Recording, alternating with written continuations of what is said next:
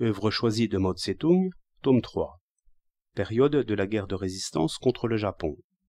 À propos du Front uni international contre le fascisme.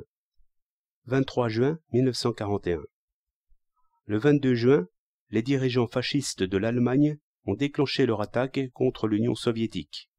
Cette agression perfide et criminelle est commise aussi bien contre l'Union soviétique que contre la liberté et l'indépendance de toutes les nations. Dans sa guerre sacrée de résistance à l'agression fasciste, l'Union soviétique défend non seulement son propre territoire, mais aussi toutes les nations qui luttent pour se libérer de l'asservissement fasciste.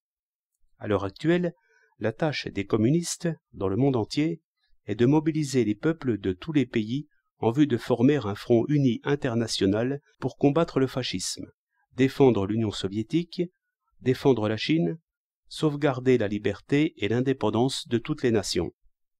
Dans la période présente, toutes les forces doivent être dirigées contre l'asservissement fasciste. Les tâches du Parti communiste chinois dans tout le pays sont les suivantes. 1.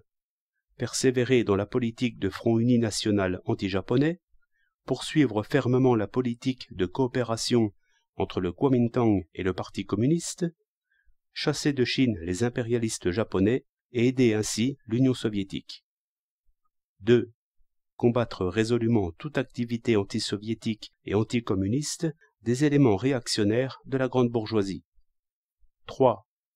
Dans les relations extérieures, s'allier contre l'ennemi commun avec tous ceux qui, en Grande-Bretagne, aux États-Unis et dans les autres pays, prennent position contre les dirigeants fascistes de l'Allemagne, de l'Italie et du Japon.